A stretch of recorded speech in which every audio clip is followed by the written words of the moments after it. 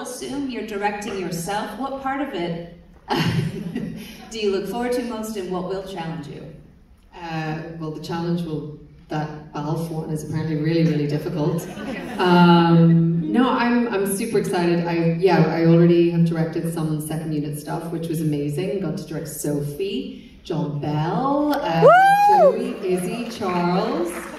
Um, yeah, you know, it's it's so fun. It's just using a different side of your brain, working with the crew and the cast and the writers and producers in a different way, and um, they've all been super supportive, and it's been really great. But yeah, the workload's going to be slightly daunting, um, and you know, there's some people I haven't worked with yet, and of course, that's going to be really interesting to see how that goes. Do you, do you talk to yourself in a different voice? You're like, Ms. Bob, you better do better. I stand in a corner and I argue with myself. That's nothing new then.